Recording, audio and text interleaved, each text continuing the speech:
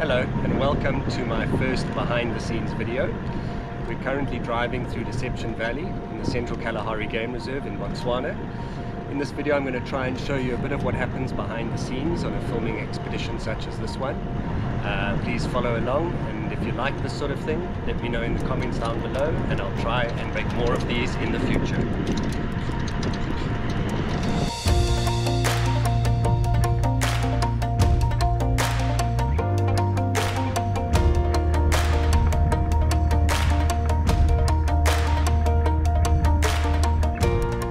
But let's start from the beginning.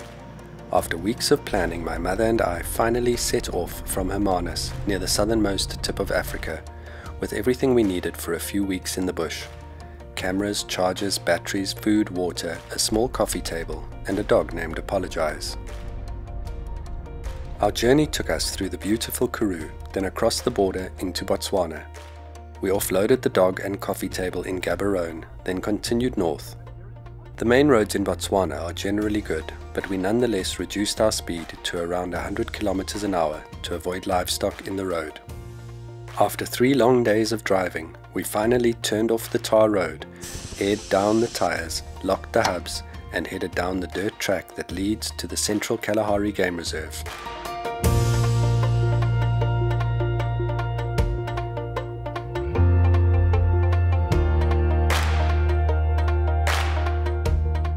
Matswere Gate, I installed my car mount and set up my camera, but we didn't see much on the way in other than a group of bat-eared foxes as we crossed the valley.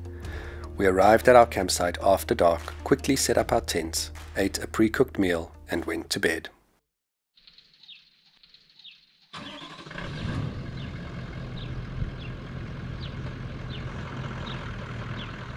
The next few days were spent exploring Deception Valley, Every morning we would wake up before dawn and head out at first light. This area of the park was quite dry, with no standing water, and daytime temperatures were pushing 40 degrees centigrade. The animals here are remarkably adapted to these conditions, and we saw numerous gemsbok and springbok as well as a variety of birds and the bat-eared fox family we had spotted on the way in. On the second day, we came across a coalition of three male lions.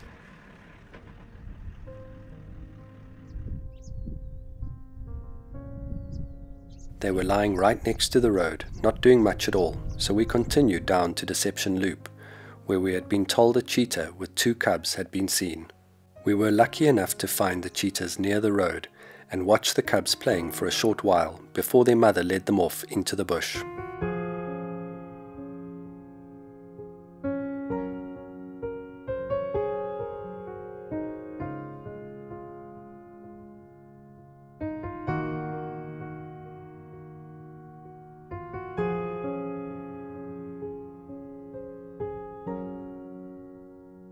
We returned to the lions who were of course still resting, so we moved off a bit to shoot a time lapse while keeping an eye on the lions with the binoculars. At sunset, they finally started to move.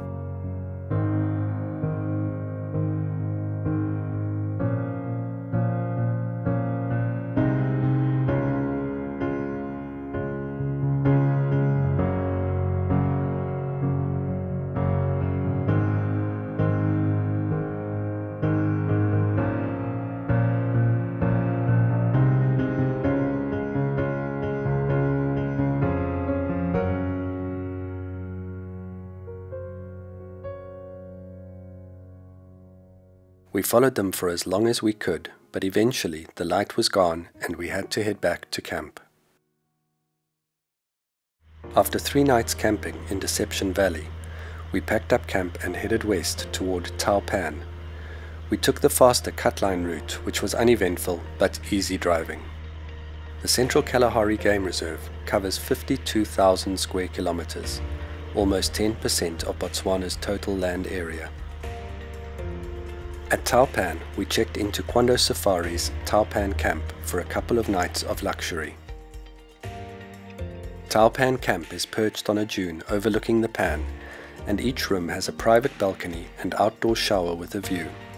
Plus, there was electricity to charge up my batteries, and they kindly filled the water tank on the vehicle as well.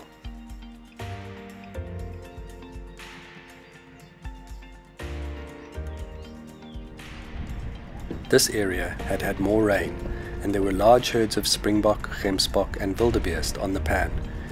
Every afternoon, spectacular rain clouds would form, and the area would be bathed in golden light. Other than the large herds on the pan, there were also numerous jackal and bat-eared foxes about.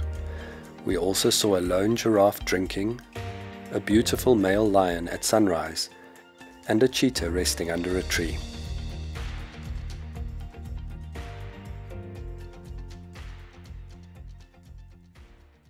After two days of comfort at Taupan camp, it was time to move on. This time we took the northern Passarge Valley Road, heading east. My mother did most of the driving, thanks mom, so I could be ready to mount the camera if we came across anything interesting. But we were driving during the hottest time of the day, when the animals tend to rest in the shade, so there was not much to see. The Leopard Pan campsite is quite remote, and there was nobody staying at Sunday Pan, a few kilometers away so I think we were probably about 20 kilometers from the nearest human beings. The campsites in the Central Kalahari Game Reserve are very basic. Just a fireplace, a long drop toilet, and an enclosure with a bucket shower for which you need to bring your own water. We set up camp and quickly headed out to shoot a sunset time lapse on the pan.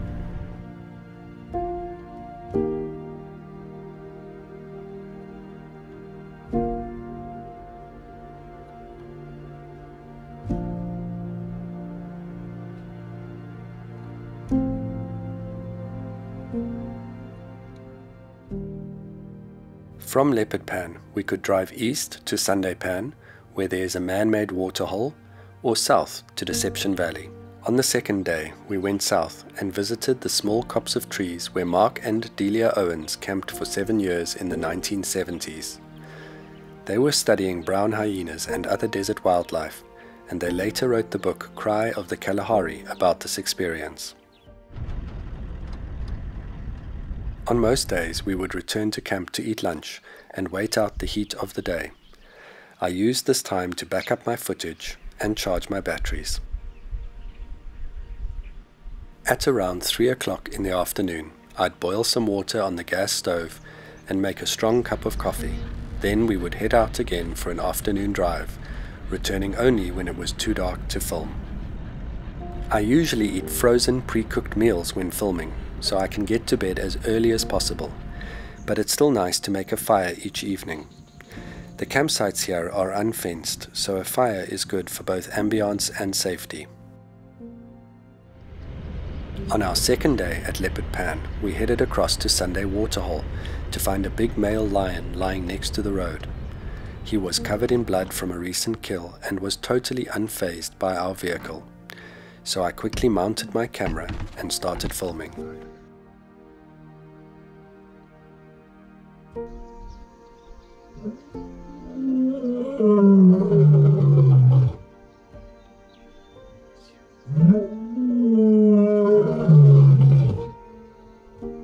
We followed him to the waterhole, where he had a drink, then walked around scent marking trees before collapsing in the shade.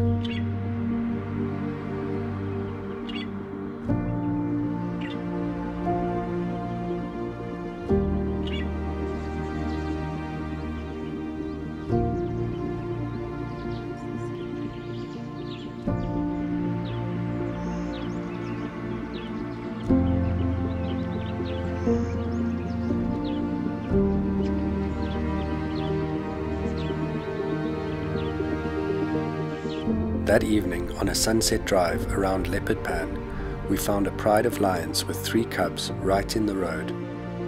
The light was fading fast, but I managed to grab a few shots.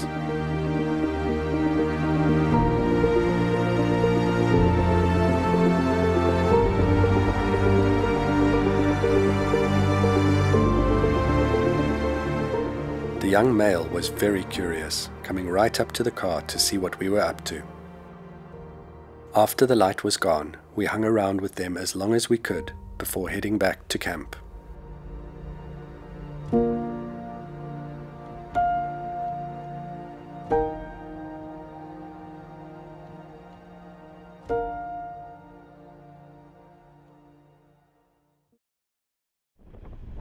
After three nights at Leopard Pan, it was time to leave the Central Kalahari Game Reserve.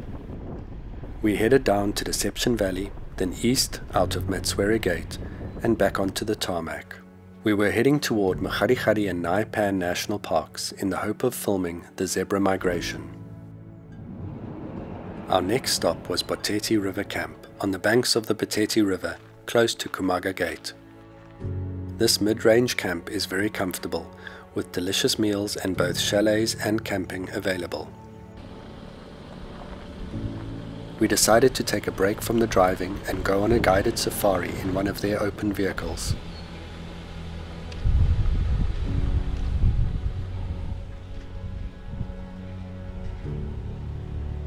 The Boteti was dry with only a few pools of water, but the bird life was still fantastic and there were quite a few elephants and other animals in the area.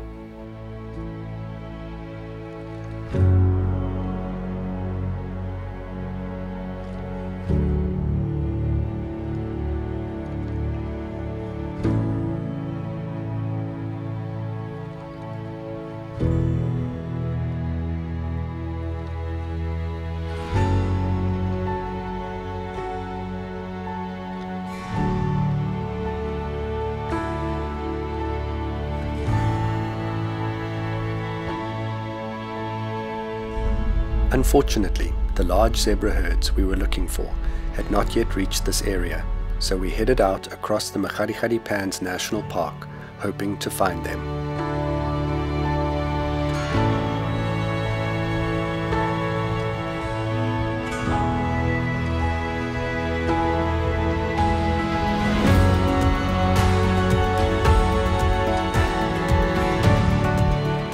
As we travelled east, the bush opened out into seemingly endless grasslands.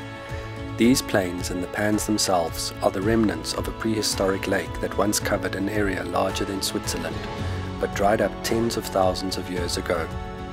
Makgadikgadi means the waterless place, and the animals that live here must survive without drinking for most of the year. We saw ostrich, red hartebeest, ground squirrel, and a secretary bird but still no zebras. We had planned to camp at Tree Island, but decided rather to head north to Nxai Pan National Park in the hope of finding the large zebra herds. So we left the park near Gweta and travelled west along the tar road to the entrance gates.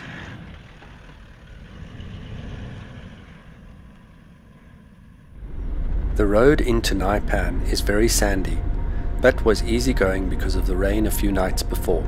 On our way in, we started seeing small herds of zebra heading in the same direction as us, and an elephant decided it would be fun to make us reverse for a few kilometers.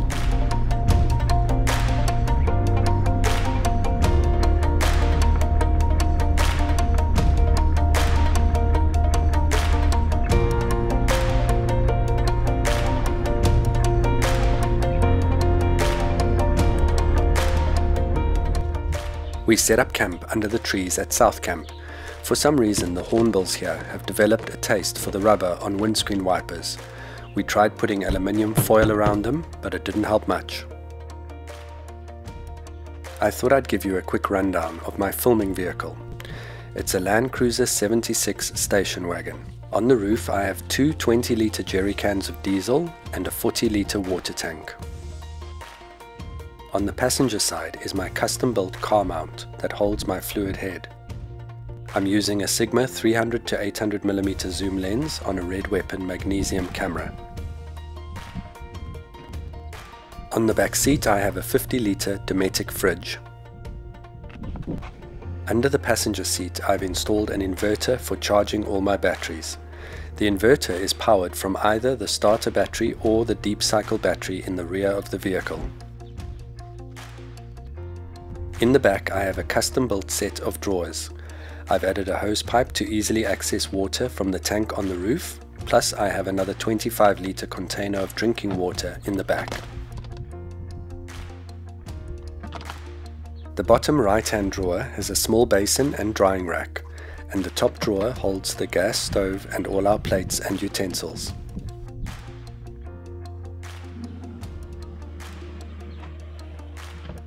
The left-hand drawer is mostly food, plus extra gas, mosquito spray and other frequently used items.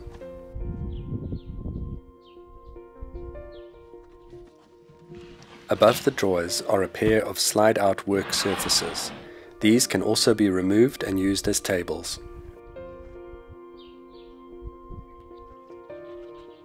I haven't done much in the front other than adding a few extra USB ports and attaching plastic containers to the dash for extra storage. I run an extension lead from the inverter under the passenger seat to my small table so I can work comfortably and power my hard drives and laptop. After setting up camp, we took a drive to the main waterhole. The roads were still quite wet, and my stock tyres were quickly coated in sticky mud, making for some slippery driving.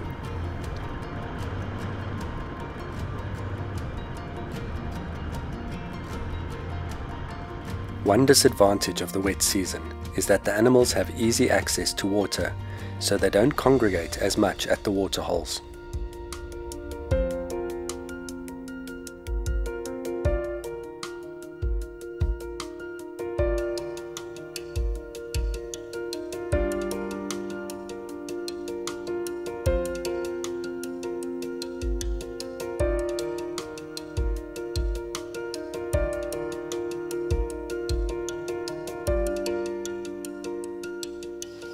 Since we had run out of pre-cooked meals by this point, we started cooking over the fire. A black-backed jackal waited just outside the firelight in the hope of stealing some scraps. There were lots of bugs around at night. Some were friendly, some not so friendly.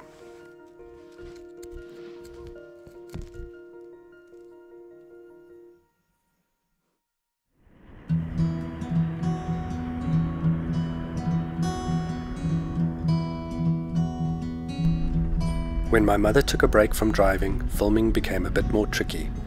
First I would get the car into position, then I would start booting my camera and climb over to the passenger side of the vehicle to level the tripod head and mount the camera before I could start filming.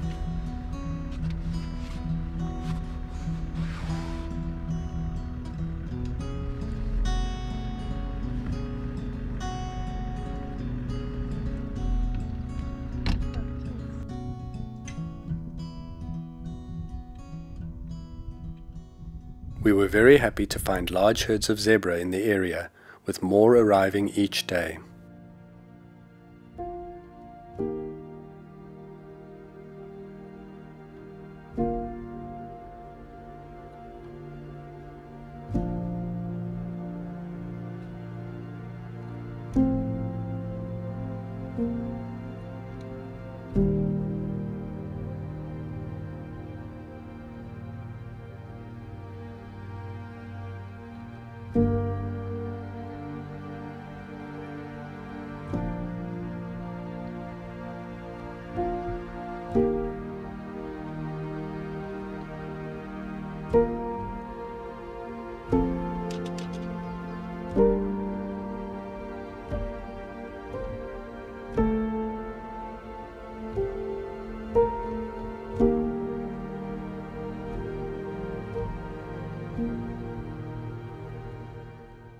After four nights at South Camp, it was time to leave, so we headed back towards the gate only to meet another elephant. This time we reversed for over half an hour.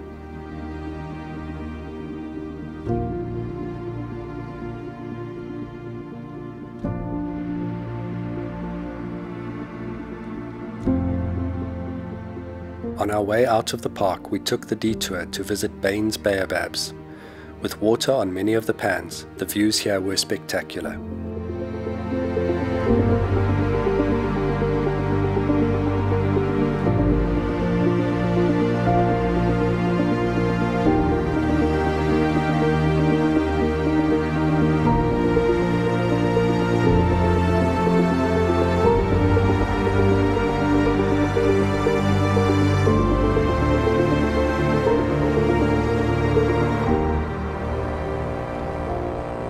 At the park gate, we aired up the tires, unlocked the hubs, turned onto the tarmac, and started the long journey home.